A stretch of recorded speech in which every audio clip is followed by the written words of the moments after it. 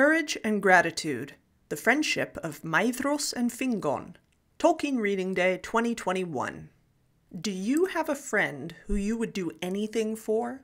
A friend who you would defend against anyone, even your own family? Or who you would follow anywhere, even to the ends of the earth itself? Someone who you can forgive after a grave misunderstanding? Or who can forgive you? How would you feel if you suddenly lost that friend because of broader circumstances that are tragically out of your control? Well, the friendship of two particular characters from The Silmarillion by J.R.R. Tolkien can illustrate these very questions. It's a friendship that has always struck me precisely for its unlikeliness, but also for the courage and the grace of the characters involved. And these characters are the First Age elves Maedhros and Fingon. This video is my contribution to Tolkien Reading Day this year, the theme being hope and courage. I believe that the incredible friendship of Maedhros and Fingon fits this theme perfectly, so in this video, I will examine the relationship of these two elves, especially the courage they show in trying times and the gratitude that they feel for each other's friendship and devotion. Now, if you haven't read the book The Silmarillion, what are you doing with your life? I'm just kidding. But you should probably stop watching this video and go read it because none of what I'm about to say is really going to make any sense. Or, if you're kind of short on time, watch my Silmarillion video series where I summarize each and every chapter of that lovely book using helpful pictures, maps, charts, and simple animations. Or, better yet, read the book and watch my videos. Anyway, without further ado, let's start at the very beginning. A very good place to start. Finwë is the High King of the Noldor in the land of Aman, and we are in the long years of the trees. When Finwë's Noldoran wife Míriel gives birth to their son Feanor, the fire and energy of Feanor's soul drains Míriel of her life, and she becomes so exhausted that her soul leaves her body, never to return to it again. Finwë is grieved because he still wants more children. So, the Valar grant him permission to marry again. This time, he marries a Vanyarin elf called Indis, and together they have two sons, Fingolfin and Finarfin. However, Feanor had no great love for Indis, nor for Fingolfin and Finarfin. He lived apart from them, exploring the land of Aman or busying himself with the knowledge and the crafts in which he delighted. So basically, Feanor doesn't think very much of his younger half brothers, and he doesn't really have anything to do with them. I'll wager that he views Indis with not a small amount of disdain because she is not his mother, like she's trying to replace Míriel in Finwë's heart or something like that. And he's probably jealous of any attention that his beloved father gives to his brothers. Now, I have to mention something rather linguistic that really illustrates this familial rift, this tension. But the source that I'm going to use is actually not the Silmarillion, but rather a book called The Peoples of Middle Earth, compiled and edited by Christopher Tolkien and published in 1996. It is the 12th and final book in the grand book series called The History of Middle Earth. Well, there's a chapter in The Peoples of Middle Earth titled The Shibboleth of Feanor. And in case you don't know, a shibboleth is something like a custom that one group uses to distinguish itself from an otherwise similar group. The shibboleth of Feanor happens to be a linguistic feature that occurs in the Noldoran dialect of Quenya, or High Elvish. At some point in time, their dialect shifts from pronouncing th to s. However, since Míriel always pronounced it the old way, Feanor consciously decides to continue saying th instead of s. So instead of Míriel Serinde, he pronounces her name Míriel Therinde. Now you might be thinking, okay, who cares? Well, Finwë starts speaking the new way so that he can be similar to his people, and Indis just follows what he's doing. And this makes Feanor really angry because he views it as an insult to his mother's memory. So he judges people's loyalty from then on t- uh, based on whether or not they say th instead of s. Now, Feanor marries the talented sculptor Nerdanel, and together they have seven sons, the oldest of whom is Maedhros.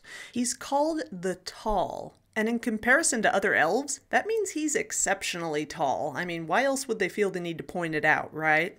And his mother name, Maitimo, means well shaped one. He was of beautiful bodily form. He has auburn, coppery hair like his mother, and he also takes after her in temperament, being hmm, more measured and patient than his hot headed father. And as we will see going forward in the narrative, Maedhros will prove himself generally wiser and nobler than his most of his brothers, though obviously not wise enough to avoid catastrophe. But let's leave him for a moment and go over to the other branch of the family. Fingolfin is Feanor's younger half brother, and although not as learned or talented in crafts as Feanor, he is nevertheless the strongest, the most steadfast, and the most valiant.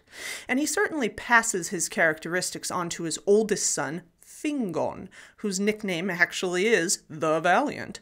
Uh, Fingon has dark hair, which he always wears in large braids weaved with gold.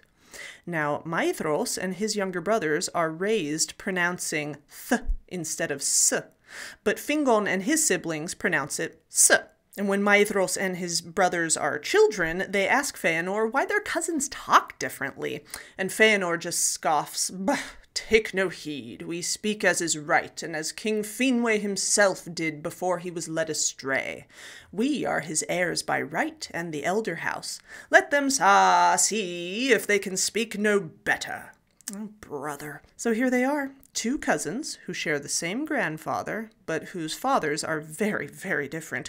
You would think you would think that Feanor would urge his sons to avoid hanging around with any of their lowly half cousins, but this is not the case. For example, we see that Aredhel, the daughter of Fingolfin, uh, Fingon's younger sister, loved much to ride and hunt in the forests. There she was often in the company of the sons of Feanor, her kin. Okay?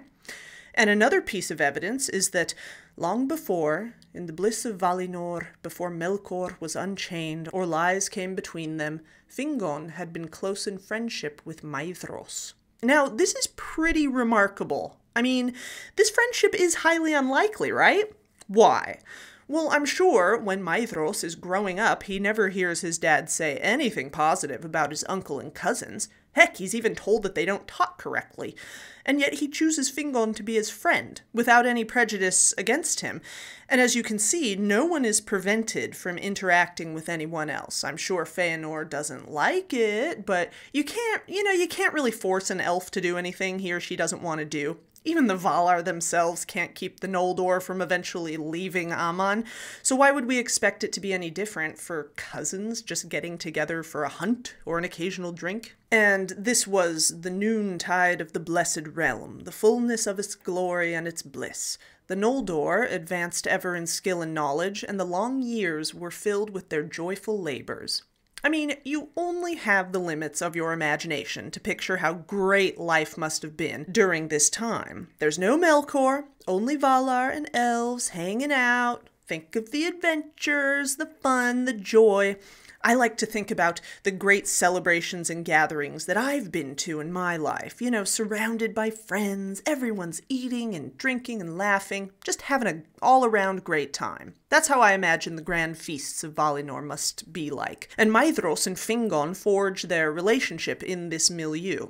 The Silmarillion states that Feanor and his sons abode seldom in one place for long, but travelled far and wide upon the confines of Valinor, going even to the borders of the dark and the cold shores of the outer sea, seeking the unknown. Now, I am positive that Fingon accompanies Maedhros on some of these adventures, surely. I mean, maybe not while Maedhros is traveling with his father, but uh, come on, at other times, I mean, heck, maybe Aredhel comes along as well. We've been given enough evidence that would make, that would make that assumption plausible, you know. Uh, the reason that I'm taking the time to give you all this kind of background context and draw a mental picture for you of where Maedhros and Fingon start out is because it makes their friendship and the things that they go through later on all the more profound and significant. And of course, Good things cannot last long in a marred world. Melkor is set free from his imprisonment, and we know that he hates the Valar and the elves just as much as ever, especially Feanor,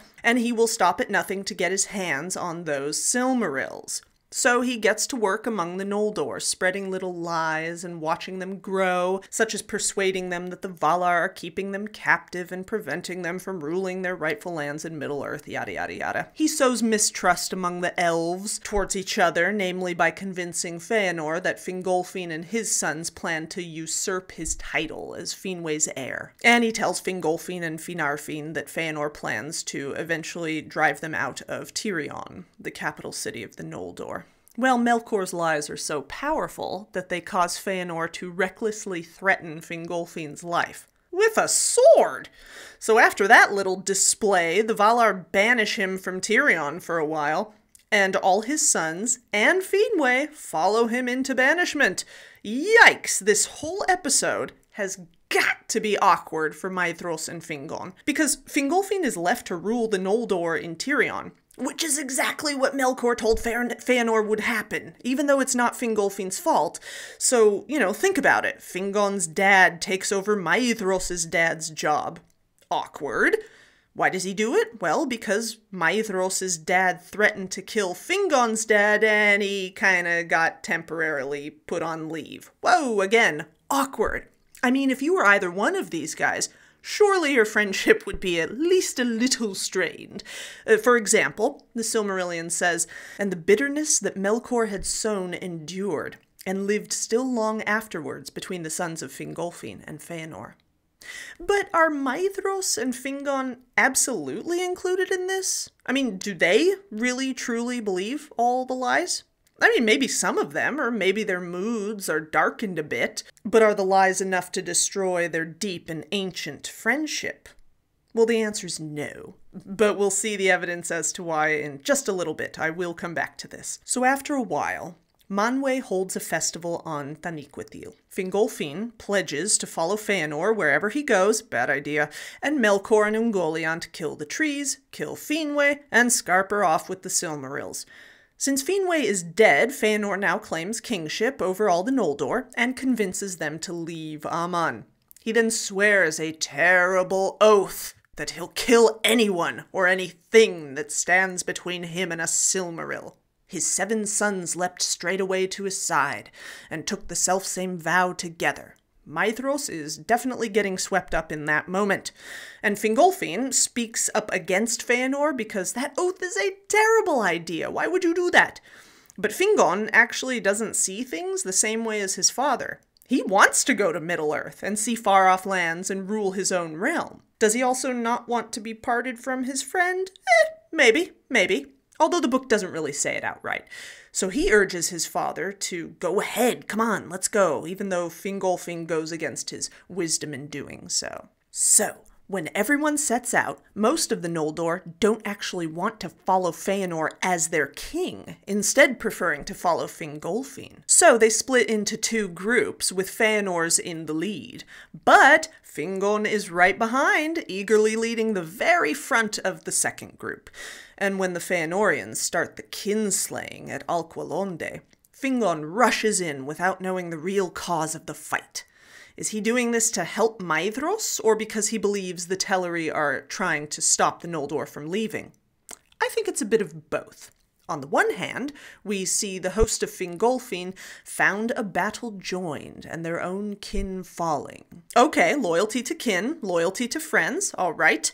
But on the other hand, in the host of Fingolfin, some thought indeed that the Teleri had sought to waylay the march of the Noldor at the bidding of the Valar. Well, whatever the case may be, Fingon, along with Maedhros, are both guilty of the first evil act that elves commit in the story. This is not a good way to start exile. So once they get the ships, the Noldor head north. Mandos pronounces his doom, banning them from returning to Valinor and proclaiming their war against Morgoth is going to be totally hopeless. They press on anyway. But because there aren't enough ships to carry everyone at the same time, and since none were willing to abide upon the western coast while others were ferried across, Feanor and his sons do a really sneaky thing. They take the ships and slip away in secret so they can get there first. But when they were landed, Maedhros, the eldest of his sons, and on a time the friend of Fingon, ere Morgoth's lies came between, spoke to Feanor, saying, Now what ships and rowers will you spare to return, and whom shall they bear hither first? Fingon the Valiant? Okay, so this little quotation is the first time that I really see how remarkable their friendship is.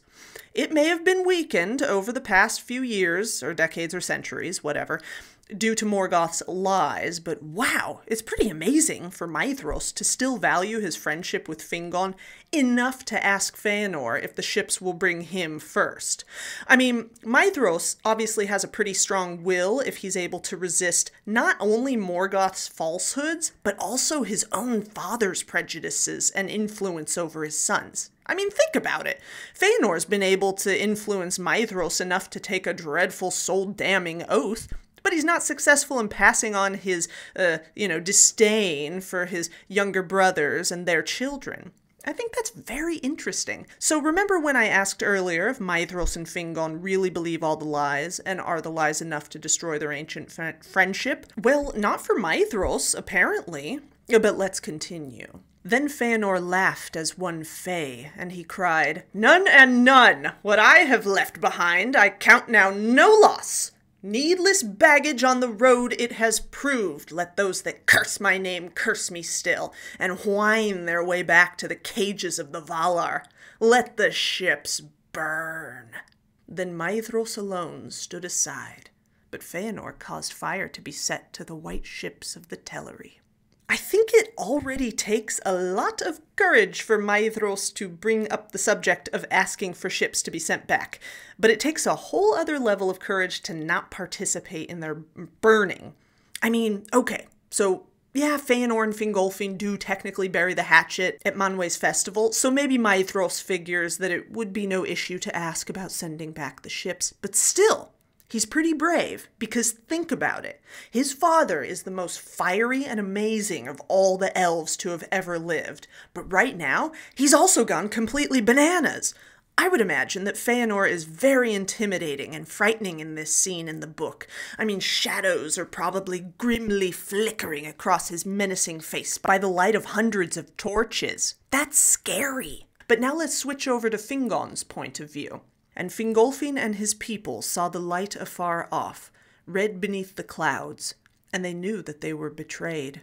Oh boy, what an awful feeling. I mean, after hearing the horrible doom of the Noldor and their banishment from Aman, and then they go ahead anyway because they think that there's a future in this whole war for Morgoth, they get this far only to have their only source of transportation burned by the guys who they thought were their allies. I mean, Fingon most likely participated in the kinslaying, so he's already killed. This is a crime that he knows he must suffer for eventually. He, you know, you can't commit a crime in Arda without having to pay for it. So on top of that, now, as far as he knows, his best friend has betrayed him. I mean, this is really a low point, just this feeling of abandonment. I mean, not just for him, but for everyone. And despite that, okay, they push on, they cross the Helcaraxe, and there were vast fogs and mists of deadly cold, and the sea streams were filled with clashing hills of ice, and the grinding of ice deep sunken. This is a total nightmare. This is like hell on earth. People are dying. It is not an easy hopping from one ice floe to another. This is really grueling. In the meantime, the Feanorian host fights orcs in the Dagor Nuingiliath, and Feanor is killed. Then Maedhros pretends to make a deal with some of Morgoth's representatives who overpower him and take him captive to Angband. Morgoth held Maedhros as hostage and sent word that he would not release him unless the Noldor would forsake their war, returning into the west or else departing far from Beleriand into the south of the world.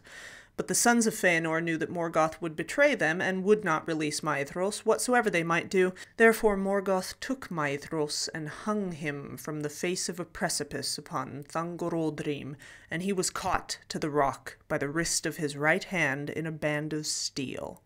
He hangs in torment like this for about 20 years, by the way, so he is not a happy camper. So once the host of Fingolfin arrives in Middle Earth, they are none too happy with the way things have gone so far. No love was there in the hearts of those that followed Fingolfin for the house of Feanor, for the agony of those that endured the crossing of the ice had been great, and Fingolfin held the sons the accomplices of their father. Yikes! So these are not ideal circumstances. The Noldor are going to be at each other's throats. The guy who started this whole exile thing went and got himself killed, and Maedhros is a prisoner. I mean, things might seem pretty hopeless if not for the boundless courage and determination of Fingon, because he decides to try to heal this Noldoran feud, despite the fact that, though he knew not yet that Maedhros had not forgotten him at the burning of the ships, the thought of their ancient friendship stung his heart. I mean, that's pretty amazing. He's going to go rescue his friend. Yes, for the practical purpose of bringing the Noldor together, but also because of his devotion and loyalty. I mean, you just you don't just waltz into Angband to save a friendly acquaintance, you know. And also, uh, no one in the Noldoran host, in Fingolfin's host, is too happy with the House of Feanor, and now Fingolfin doesn't like them either. So, you know, it's just amazing that Fingon is like, no, no, my friendship matters more. I, I, I have to be loyal. I have to go save the day. So, this evidence right here answers my previous question about whether or not Morgoth's lies are enough to destroy their ancient friendship. We've seen the answer is no for Maedhros, and it's no for Fingon as well, apparently. I mean, this, this is friendship right here. So he sets out alone and in secret, and when he arrives at Thangorodrim, he climbs up the mountains, just trying to find out where Maedhros is being kept. Then his bravery causes him to take up his harp and sing. In the midst of the scariest, ugliest, nastiest place in all of Arda. I mean, this is Mordor on steroids, okay? And he dares to make beautiful music recalling the beauty and glory days of Valinor, when his and Maedhros' friendship was strong and joyful. And then, oh, faintly, he hears a weak voice answer the song, and he looks up. Oh my God, you can imagine Maedhros looks terrible and ragged and awful. Fingon actually weeps when he sees how Maedhros has been tortured. And Maedhros has lost hope and begs Fingon to kill him with an arrow. And Fingon, you know, he acquiesces, although not without making one last desperate plea to Manwe. I mean, this is a cry of desperation here. O king, to whom all birds are dear, speed now this feathered shaft, and recall some pity for the Noldor in their need. I mean, can you imagine having to do a mercy kill for your best friend? I, I, come on, no, you can't. It's this is this is heavy stuff. But hope is not lost because Manwe answers. He hears the prayer and he answers by sending Thorondor, king of the eagles, to prevent Fingon from shooting. Hooray! Then he takes, then the eagle takes up Fingon to where Maedhros is hanging, and Fingon cannot break the lock. He tries so many times and he just can't. Maedhros once again begs him to kill him, but Fingon goes to the last resort. He cuts off Maedhros' hand. I'm sure that scream didn't sound bad. And they fly back to Mithrim, where all the Noldor are encamped. And that must have been quite an interesting entrance. I mean, you've got Fingon, who went out in secret, so no one knows where he is. People were probably like, hey, you see Fingon? Ah, I thought he was with you, right? And then you've got Maedhros' mm, scumbag brothers who don't even bother to go and rescue him themselves, and they see their supposedly inferior cousin, who can't even speak properly, rescuing their oldest brother in a triumphant return. I mean, wow. And Fingolfin may very well have been thinking, ah, come on, son, why'd you go to all that trouble? He's an accomplice, don't you know?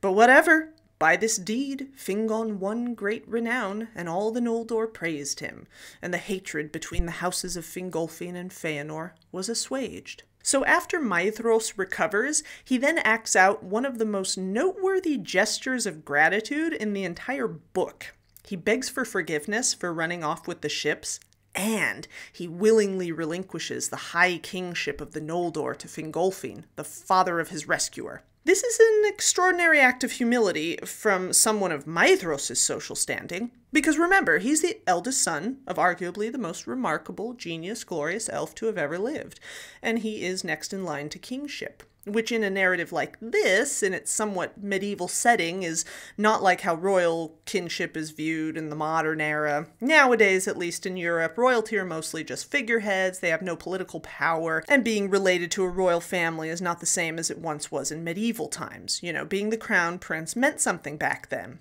Power. Vicious wars were fought over the title of king back in the day. So you'll realize that Maedhros' abdication is, wow, that's an incredible act of humility. I mean, this high and lofty being humbles himself. I'm convinced that it's at least in part due to gratitude to his friend. I mean, this also could have been a practical thing as an attempt to unite the Noldor. It could have been. It could have been.